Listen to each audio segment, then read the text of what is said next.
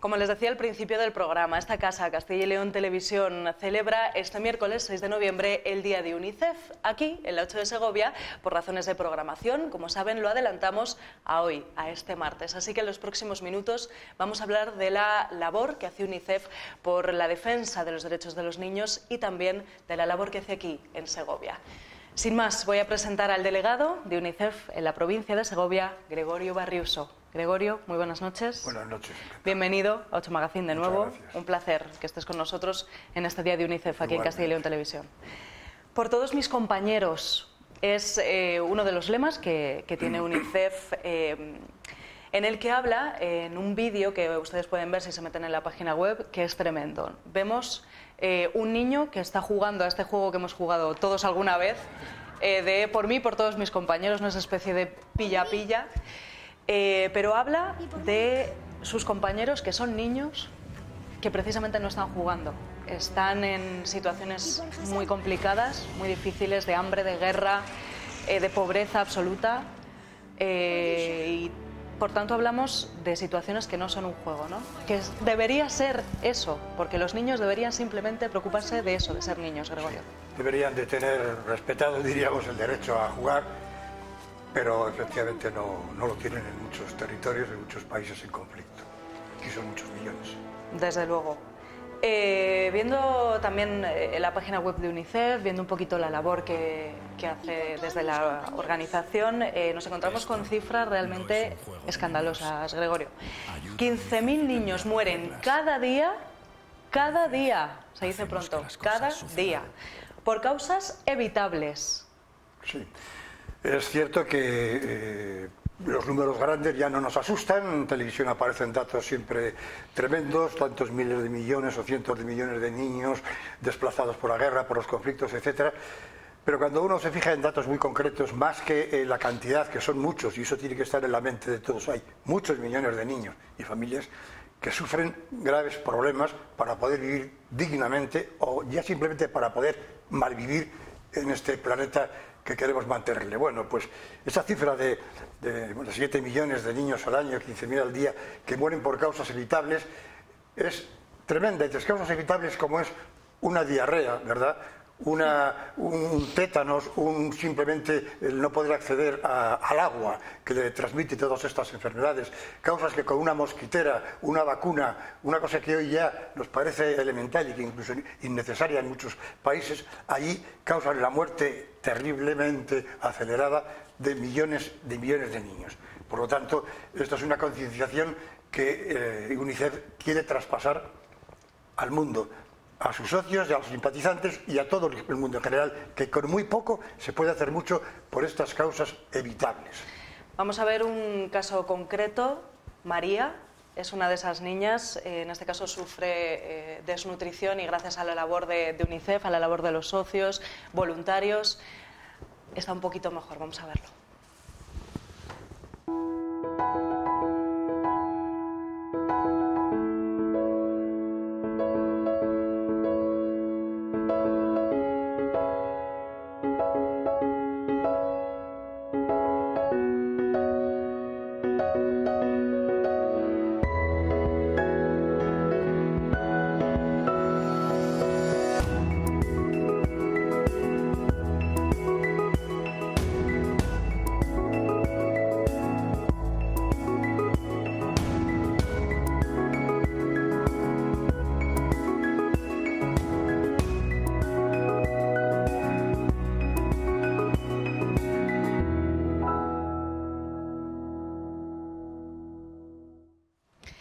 Gregorio, uno de los tantísimos, tantísimos casos que desgraciadamente tenemos en, el mundo.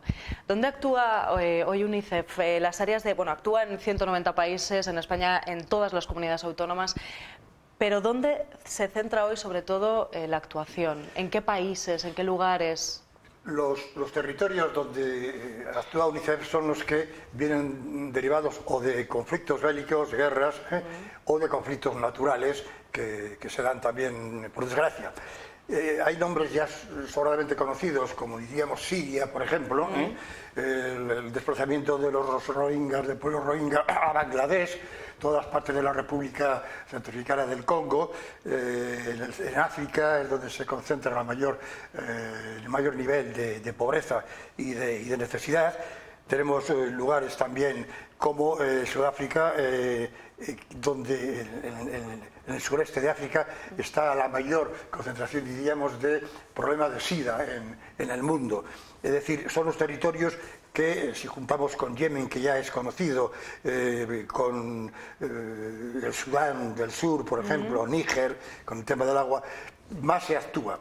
Y en los lugares donde ya la gente conoce que ha habido pues, un cataclismo, un tifón, un, temporal que ha eh, erradicado. Catástrofes naturales. Los problemas de, de, actuar en estos lugares es que son muchos cuando ocurren.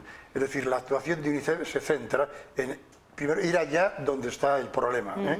Eh, intentar ayudar, solucionar y luego mantenerse allí, no irse porque los problemas eh, continúan, no se solucionan por estar allí un mes, tres meses o un año. Hay que dejar una infraestructura elemental para que eso pueda progresar.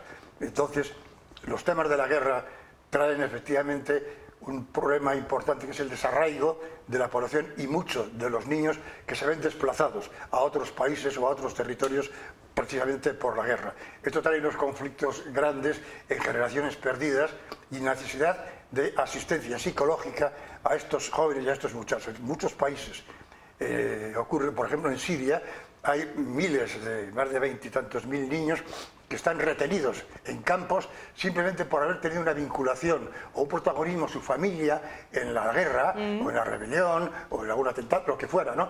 Y el niño, por ser de esa familia, ya está retenido en campos donde las condiciones son infrahumanas.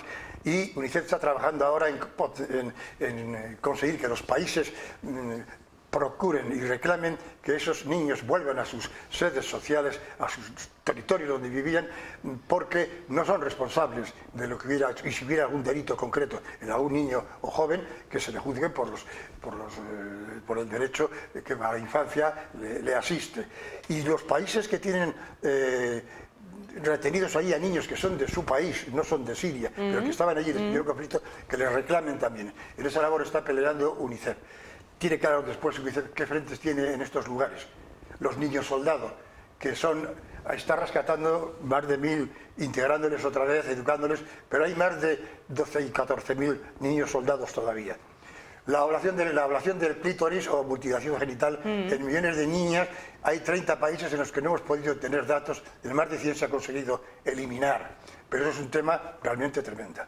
Los matrimonios de niñas infantiles que se destruye la vida a esa persona, a esa niña, su vida acaba ahí, al servicio de lo que en esa casa el marido haya, contratado con la otra familia y está pues como criada, como, como objeto sexual, como tantas cosas. ¿no? Este es otro de los temas que existen en, en esta atención. El tema de la, los niños que están obligados a trabajar, es decir, el trabajo infantil en condiciones infrahumanas, explotados, vejados, con un gran riesgo para su integridad física y moral y psicológica. El gran problema del agua, que ese es universal, ese es en, todos, en todo el mundo hay muchos territorios donde el acceso al agua, sobre todo en nuestros países, por conflictos naturales muchas veces y por conflictos bélicos, hace que no se pueda acceder al agua en condiciones sanas.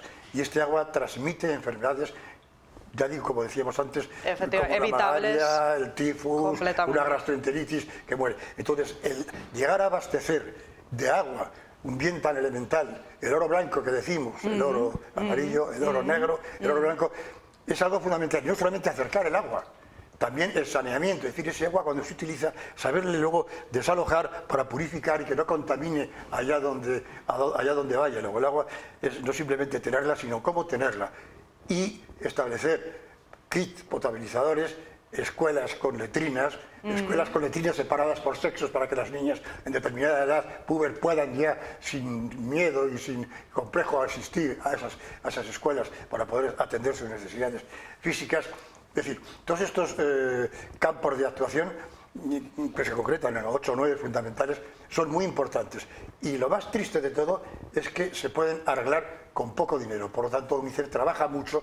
Allá donde va, no es poner el parche, es trabajar con los gobiernos que están allí actuando para que pongan las medidas necesarias, porque si no lo otro es pan para hoy y hambre para mañana. Por lo tanto es una labor diaria, rutinaria y eh, España colabora y muy mucho. Tengamos en cuenta que España en los años 50 y 60 fue beneficiaria de UNICEF. La leche en polvo que venía aquí a los es porque no había. UNICEF tiene 73 años. En los años 50 y 60 nos ayudó mucho. En los 70 empezamos a ayudar nosotros ya a UNICEF en el resto de los países. Es decir, que nadie está libre y todos hemos de estar involucrados en esta labor que va dirigida a muchas necesidades, pero con el enfoque concreto sin descartar otros, pero conflicto final del el niño, de ese bien preciado que es el que nos va a dar el futuro, Nuestro que futuro. tener un futuro decente. Eso es. Pues vamos a hablar de ayudar precisamente, Gregorio, vamos a hablar de cómo pueden hacerse socios. Ustedes también, sí, desde casa. Vamos a ver cómo pueden hacerlo. ¿Sabías que un niño aprende más jugando que haciendo otra cosa? Jugar es muy importante, pero hay niños como Canu que no tienen fuerzas ni para lanzar la pelota. Canu sufre desnutrición aguda, pero afortunadamente ya cuenta con la ayuda de UNICEF y tú también puedes ayudarlo.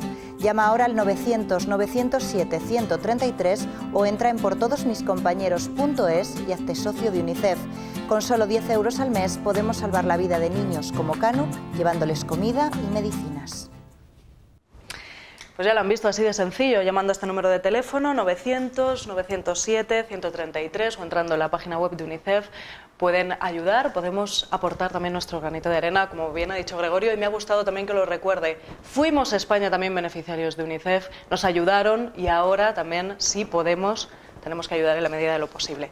Vamos a hablar de cómo trabaja UNICEF en España, Gregorio, y sobre todo en Segovia, también la labor que se hace en Segovia, que es sobre todo de concienciación. ¿no? Sí, sensibilización, concienciación es eh, algo fundamental. Para eso hay que acercar datos, efectivamente, pero no abusar del niño con la barriguita hinchada y moscas en los ojos. No, vamos a ir a otras muchas más cosas que mm. efectivamente necesitan la ayuda. ¿no? Entonces España es un país que ha sido solidario siempre y Segovia lo es también, efectivamente. En España eh, los niños tienen una participación, porque la participación es importante para que el niño se sensibilice y además lo hace con una gran facilidad. Existen los consejos de infancia integrados por jóvenes, niños, que están motivados por los propios centros escolares para eh, mostrar eh, a los gobiernos locales, regionales y nacionales las necesidades que ellos tienen en nuestro territorio, en España, que las hay, y en las necesidades que ellos querrían que se cubrieran en el mundo que no está eh, cubierto suficientemente como ellos van observando con los datos que van manejando políticas de infancia en España con los ayuntamientos. En sus agendas y con las eh, comunidades y con el gobierno existen para poder actuar con fondos destinados a esas acciones que hay que hacer en todo el mundo y a mejorar la dignidad, la salud, la escolaridad, eh, la alegría de vivir, diríamos, de los niños en España que tienen sus puntos, sus puntos débiles todavía. Quizá uno de cada tres del informe que hace un año ha editado el propio UNICEF, casi uno de cada tres niños están en riesgo de exclusión social o de pobreza. Esto hay que entenderlo, claro, el nivel de pobreza hay que relativizar, no es lo mismo el nivel de pobreza en España que el nivel de pobreza en Níger. Pero es un nivel de pobreza que, comparado con otros eh, países en niveles superiores, o la aspiración a la que hay que tender, hay que elevar, hay que, hay que mejorar. Por eso las políticas de acción social que UNICEF quiere realizar, quiere concertar con los gobiernos, eh, con el gobierno de España, y con los gobiernos locales y, regionales que lo, está, que lo está haciendo en la figura de ciudades de la infancia, que son ciudades amigas de la infancia. Segovia es ciudad amiga de la infancia. Eh, también eh, San Cristóbal es San Cristóbal de, la infancia. Son ciudades que se comprometen específicamente además porque quieren a un protocolo que UNICEF les presenta de compromiso social de actuación preferente en ayuda de los niños y que contribuye con sus infraestructuras y sus medios a que las acciones de UNICEF sean más potentes, diríamos, en estas ciudades amigas de la infancia. Colegios amigos de la infancia, que se vinculan también a una enseñanza sin discriminación, una enseñanza en la tolerancia y una enseñanza en, la, en el fomento de la mejora del planeta global que con sus actuaciones y su influencia en sus familias hace que seamos más conscientes de que el planeta tenemos que cuidarle y que de ello va a depender mucho también la riqueza, la felicidad y la igualdad de los niños y de las niñas en el mundo. Por lo tanto, esa es otra de las políticas que se lleva a nivel nacional y en concreto también a nivel regional. Formación de trabajadores para realizar su trabajo de trabajadores sanitarios y educativos para poder realizar su trabajo en los territorios donde están los conflictos que se desplazan allí a través de la organización de UNICEF. Tenemos en cuenta que UNICEF es una mm, fundación de las Naciones Unidas para la Infancia y tiene unos compromisos concretos y de carácter internacional y acoge a voluntarios de todos los países que tienen que estar previamente formados para actuar con criterio, porque no basta, diríamos, con ser un buen médico, hay que saber cómo hay que hacer ciertas cosas en ciertos territorios, sus idiosincrasias, sus gobiernos locales, sus facciones, prepararles un poco para lo que se van a encontrar. Y luego, pues también eh, la defensa a ultranza de, los derechos de la infancia. La Convención eh, Internacional de los Derechos del Niño, después del niño y la niña, ahora ya decimos de la infancia, para, para englobarlo de una vez, pues eh, hace ya va a hacer 30 años que se aprobó también en Naciones Unidas y hace que en los 52 artículos recoja los derechos del niño en todos los órdenes que podemos imaginar, están ahí recogidos. A los niños en los colegios comprometidos y animamos a todos los colegios a que lo hagan poniéndose en contacto con UNICEF. Y damos las gracias a los colegios que ya están participando desde hace años mm. en este programa que se llama Enrédate, están transmitiendo a los niños no solamente conocimiento de los derechos que tienen, sino que exijan esos derechos y que el primer derecho que tienen es el de exigir que se cumplan sus derechos. Por lo tanto, nosotros en Santander, en Segovia, perdón, eh, tenemos la, la suerte de tener varios colegios que, están muy volcados en este tema y hemos de reconocer por la distinción nacional que tuvo el Colegio Fray Juan de la Cruz el año pasado como exponente, que apetece eh, reconocerlo, sin menoscabo de agradecer a todos los demás también como agradecer también en esta difusión y sensibilización a la propia televisión Castilla y León Canal 8, que cada año nos hace este enorme favor de recordar y de volver a insistir en algo que por desgracia, como decía el eslogan de UNICEF el año anterior, eh, hace dos años, eh, cierra UNICEF, es decir, el objetivo es que pudiéramos cerrar. Ahí quería ir yo, ya se quería terminar, eh, Gregorio, recordando, porque me ha gustado mucho este lema, ¿no? de por todos mis compañeros del que hablábamos al principio, eh, hablar de un juego para hablar de, eh, de lo que deberían estar haciendo los niños, como decíamos al principio, que es jugar y sin embargo están en situaciones tan duras. ¿no? pero a mí el lema que más me ha gustado de UNICEF durante todos estos años ha sido ese, cierra UNICEF.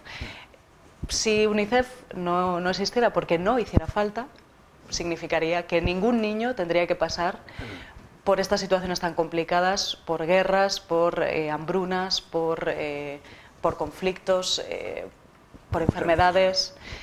Así que vamos a intentar cerrar UNICEF, como decíamos, haciéndose socio o hay otras formas, rápidamente me gustaría repasarlas antes de irnos a Policía Gregorio, hay otras formas de colaborar lo importante es dar nuestro granito de arena. Sí, muy brevemente, simplemente decir la colaboración, evidentemente. Entrando en unicef.es, en la página web, tiene todos los eh, campos donde toda la información que existe. Cuéntamelo, que es para que digamos lo que necesitamos, de UNICEF para ayudar, la herencia de UNICEF. Es decir, ahí está toda la información. Pero bueno, recordar que hacerse socio es lo fundamental. Más del 50, el 60% de los fondos que maneja UNICEF en el mundo y en España son de los socios Mm. Por tanto, socio es muy importante y hay que agradecérselo. Es vital. Socio eh, para un tema puntual, ingresando el dinero que crea eh, o que pueda o que desee en la entidad bancaria Banco Santander, Banco Bilbao y otras que colaboran para que vaya a ese destino final, o una cuota mensual o trimestral o mm. semestral.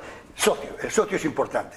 Después está el regalo azul. El regalo azul es una campaña que hemos hecho siempre donde se regalan, eh, se da un dinero para que vaya a una causa concreta de todas estas que hemos hablado y eh, ese regalo es el que los novios entregan en la boda o en el bautizo o en alguna otra un cumpleaños y el que recibe, recibe la postal personalizada donde estás contribuyendo con, yo qué sé, con 10 euros que iba a ser el regalo que iba a dar, pues esos 10 euros están en esta tarjeta que va a ir a ayudar con otros a esos niños. El regalo se, llama, se informa en UNICEF. Las, las herencias solidarias. Hay gente que puede hacer su herencia normalmente, las hacemos todos, pero puede decir, esta parte, esta cosita, esta poquito, lo que fuera, yo lo doy para UNICEF. ¿no? Existe y no tiene además ningún tipo de grabación. Eh, después, con un SMS al, teléfono al 38080, palabra UNICEF, y van cuatro euros íntegros, sin descuento ninguno, también a UNICEF. Hay embajadores de buena voluntad que llevan UNICEF por el mundo con su imagen.